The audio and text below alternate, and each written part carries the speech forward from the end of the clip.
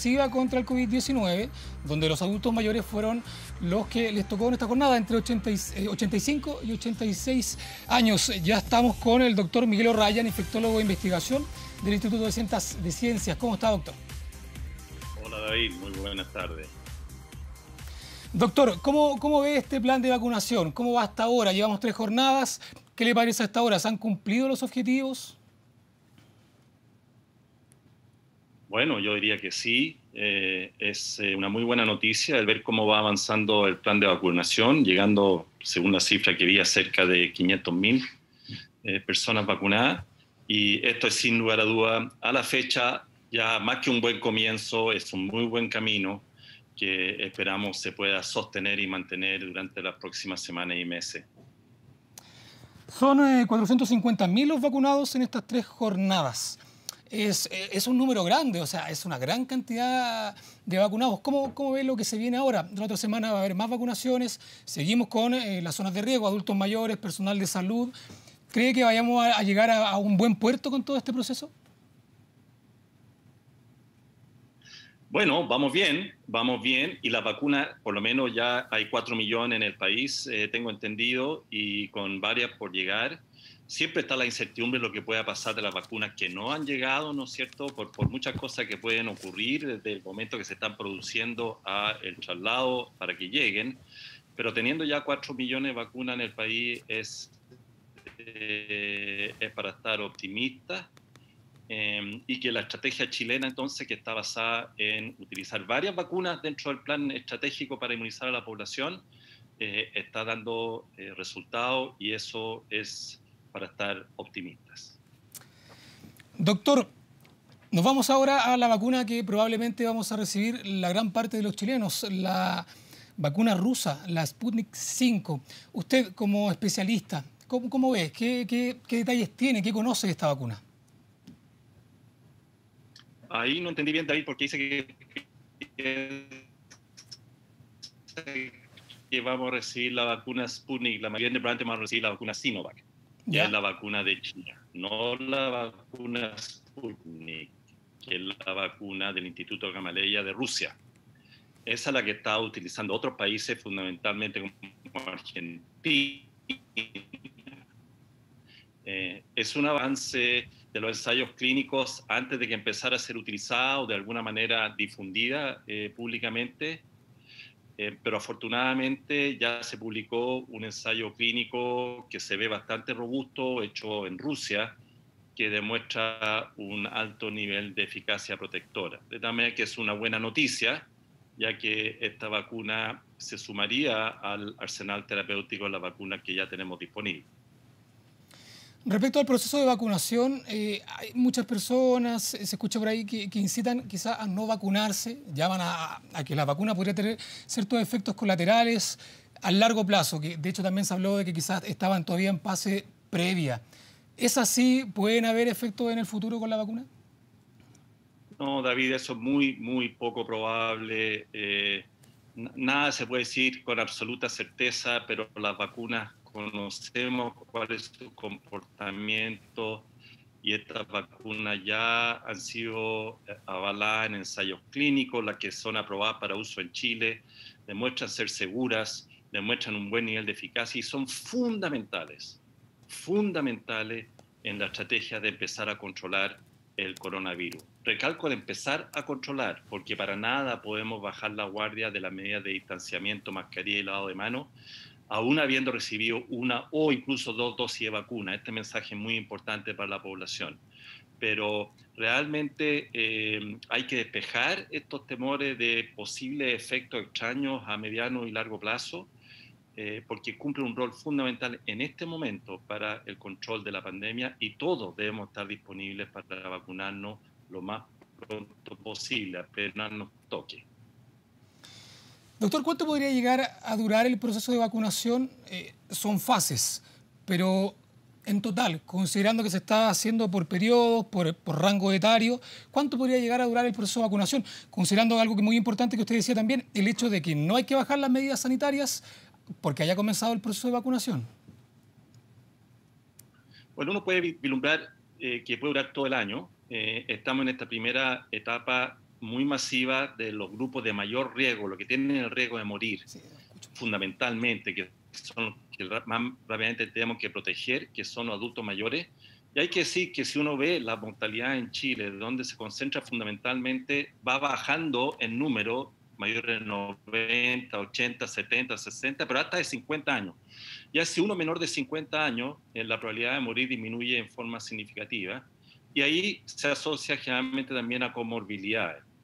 De tal manera que tenemos que vacunar lo más rápidamente posible en edades decrecientes, se ha hablado mayores de 60, ojalá sumar después rápidamente los mayores de 50 y las personas con comorbilidades. Y todo esto eh, debería pasar, según ha dicho la autoridad, dentro de este primer semestre.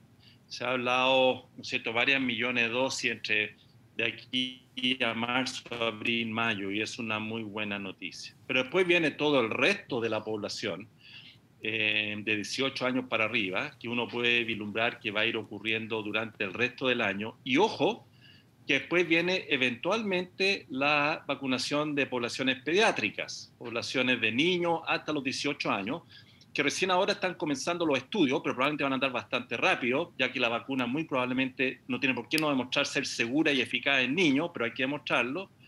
Eh, esperamos participar nosotros incluso de esos ensayos clínicos que deberían empezar rápidamente y eventualmente los niños puedan incorporarse a un programa de vacunación hacia fines de año o hacia el 2022. ¿Por qué niños?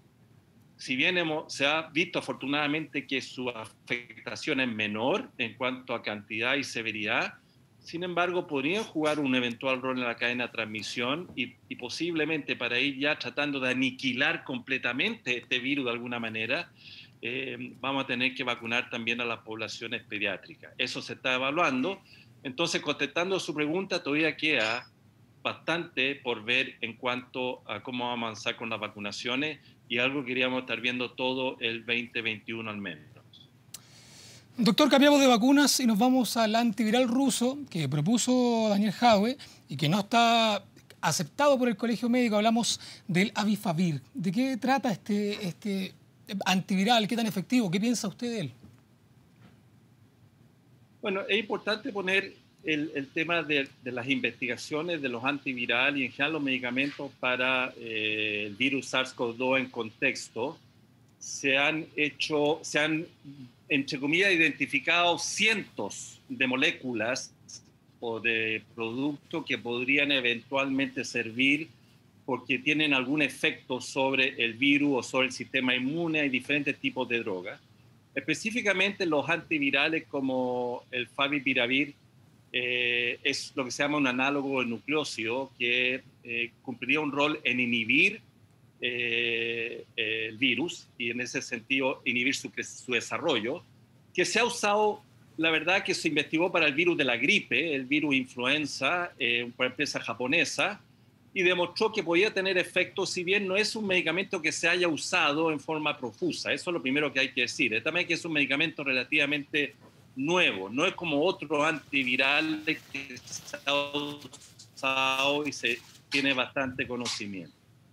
Ahora, se vio en el laboratorio que efectivamente tiene la capacidad eventualmente a determinada dosis de poder em, contrarrestar el crecimiento del de, eh, coronavirus, de tal manera que era un candidato potencial como muchos otros. Y los, se han hecho testeos clínicos de diferentes tipos, son generalmente estudios pequeños, hechos en Rusia, en China, también hay en, en otros lugares, que sugieren que podría tener un efecto usado en forma precoz, temprana, en personas con infecciones leves, fundamentalmente leve, en acortar la excreción viral y eh, eventualmente disminuir la duración de los síntomas. Son estudios pequeños, sin embargo, que no son a esta altura, a mi manera de ver y manera de ver, diría yo, de la comunidad en general científica, concluyentes, eh, como para avanzar en el uso, entre comillas, eh, masivo de esta vacuna como un antiviral que vaya a demostrar una eficacia eh, que pueda ser significativa.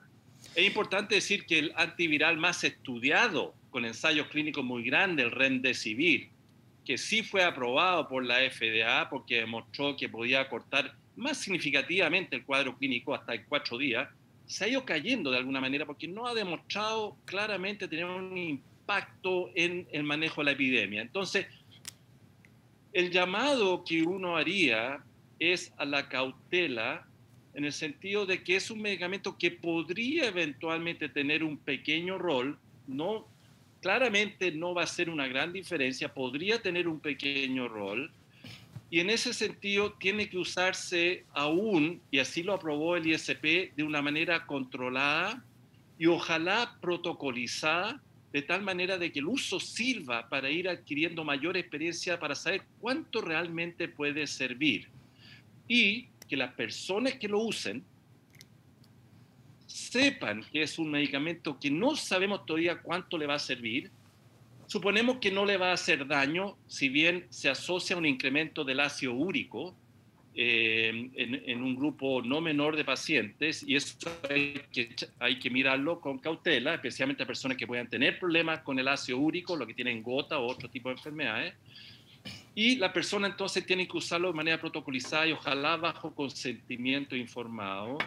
Y los médicos que lo usen de una manera muy controlada, registrando su efecto, de alguna manera para ir adquiriendo mayor experiencia para ver finalmente si sirve o no y si sirve, cuánto sirve. Doctor, entonces usted nos cierra la posibilidad que en el mediano corto plazo tengamos la posibilidad de utilizar quizás como medida que acompaña la vacuna un antiviral como esta propuesta, que, que si bien fue aceptada por el ISP, no así por el MinSal ni por el Colegio Médico. Por las mismas razones que estoy diciendo, este como otros antivirales podrían ser eventualmente candidatos como terapia que puedan ayudar, no van a hacer una gran diferencia, eso está claro.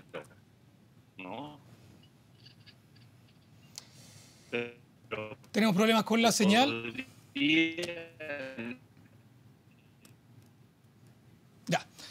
Hay problemas con la señal, de todas maneras, hasta ahí vamos a dejar la entrevista. Muchas gracias, doctor. Continuamos con noticias.